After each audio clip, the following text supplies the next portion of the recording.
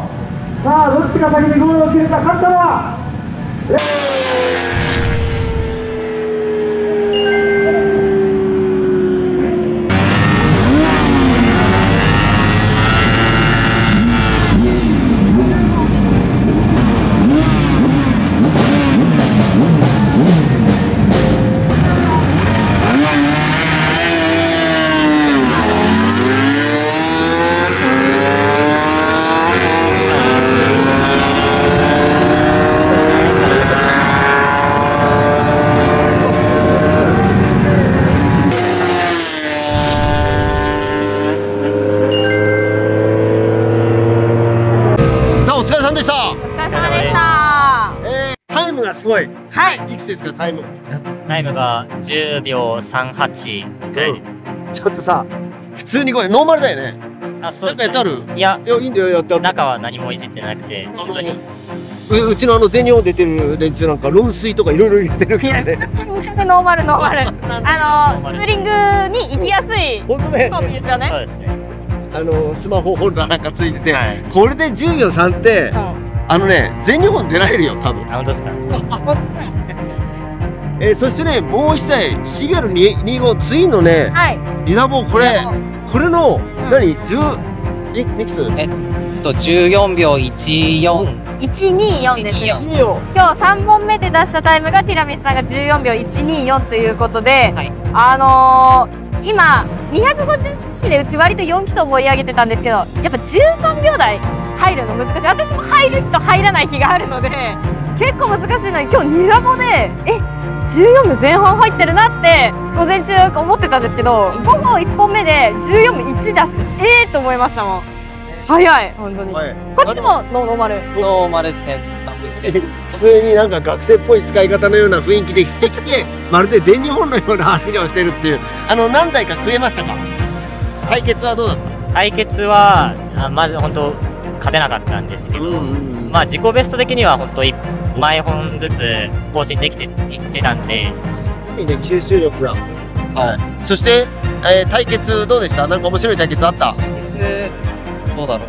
そう相手のことを見てる余裕がなくて 自分のことで手一杯でも自分過去の自分がそうまだタイムを更新できるようにでずっと戦ってたんで。自分と自分との戦いなんだ。いやいや素晴らしいよね、はい。えーこんなね若い子たちでも十分に戦えるというかね、い、や若い方がはっきり言ってセンスがあるんじゃないかってこっちは驚いてるよね。確かにだあと開けるガッツは多分あるんじゃないですか？若い人の方があそうなんだよの開ける時多分コースもないですよね。怖いっす。はい。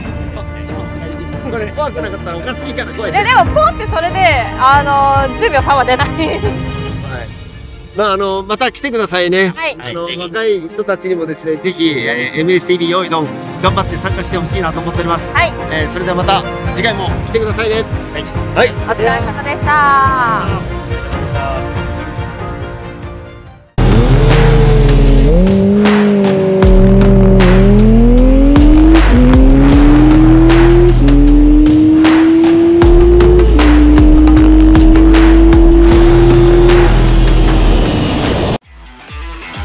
ご覧のスポンサーの提供でお送りしました。